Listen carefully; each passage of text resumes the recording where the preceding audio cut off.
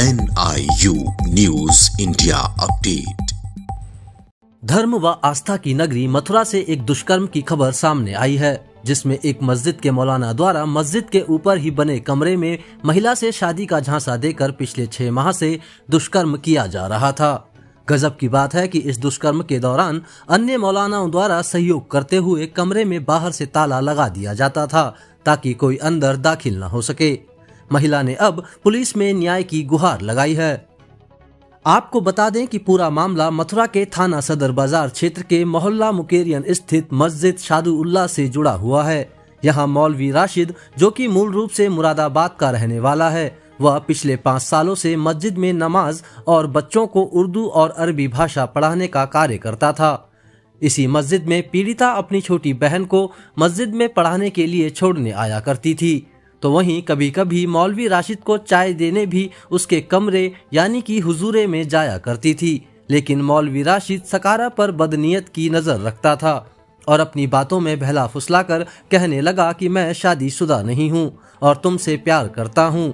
कहकर मस्जिद के ऊपर बने कमरे में बुला लिया करता था और अपने दोस्त मौलवी सद्दाम को, जो कि अड्डे वाली मस्जिद सदर बाज़ार का है, सहयोग के लिए बुलाकर कमरे के बाहर ताला लगाकर निगरानी पर खड़ा रख करता था। मौलवी राशिद पिछले छह माह से पीड़िता के संग लगातार दुष्कर्म कर रहा था। तो वहीं पुलिस लाइन स्थित मस्जिद के मौलवी हाशिम को भी अपने साथ बुला लिया करता था। वह भी पीड़िता के साथ अश्लील हरकत करने पर आमादा था, मगर कामयाब नहीं हो पाया। वहीं जब पीड़िता ने मौलवी राशिद से शादी का प्रस्ताव रखा तो उसने इनकार कर दिया। और धमकाने लगा कि अगर तुमने किसी से कहा तो तुम्हें जान से मार दूँगा। पीड़िता का कहना है कि मस्जिद कमेटी ने मुझ पर राजीनामा कर चुप्पी साध लेने हेतु भी दबाव बनाया। मगर मैं नहीं मानी तो मौलाना को भगा दिया। इस पूरी घटना से पीड़िता का पूरा परिवार गहरे सदमे में डूबा हुआ है। तो वहीं पीड़िता ने मथुरा के वरिष्ठ पुलिस अधीक्षक से गुहार लगाई है कि मुझे न्याय दिलाया जाए और मेरी मौलाना से या तो शादी करवाई जाए या फिर उसे गिरफ़्तार कर जेल भेजा जाए। क्या मामला हुआ है आपके सादुल्ला वाली मस्जिद में नाम के मौलाना रहते थे। वो मेरे साथ एक साल से नाजायज बनाते रहे। जब मैंने शिकायत इसकी कमेटी वाले से की तो उन्होंने रातों रात फरार करवा दिया। तो आप क्या आपसे शादी करना चाहती हैं उनसे? जी शादी करना चाहती हूँ। मेरी बहुत बदनामी हो गई है, चारों तरफ़ फैल गई। जब कौन मुझसे शादी करेगा? तो आपने पुलिस में शिकायत की? शिकायत की पुलिस ने तो पुलिस में ये कह दिया कि पहले हम उसका पता लगाते हैं कि कहाँ का रहने वाला मैंने बता दिया कि मुरादाबाद का। आला डाली किसी वजह से मैं यहाँ पर आई हूँ। तो आ, आ, और कितने लोग थे इसमें शामिल? इसमें सद्दाम हाफिज जी के अड्डे वाले और पुलिस लाइन वाले हाफिज जी हैं हासिम हाफिज जी। तो वो भी वो भी मेरे बारे में उल्टा सीधा बोल रहे हैं कि नहीं कर सद्दाम हाफिज जी बाहर से ताला लगा देते इसकी जानकारी पूरी उनको है सारी।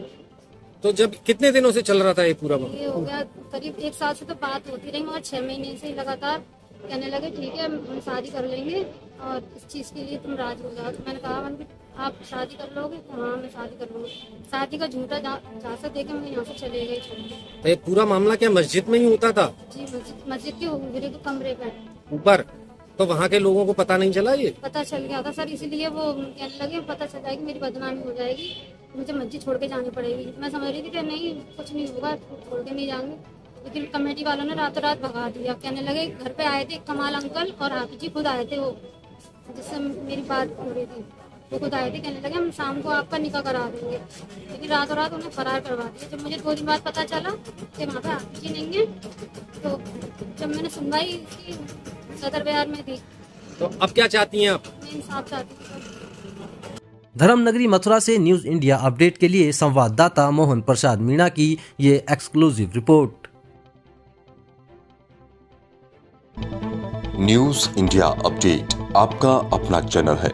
खबर को शेयर करना बिल्कुल न भूलें और पेज को ज़रूर फॉलो करें ताकि आपको मिल सके हमारी खबर सबसे पहले।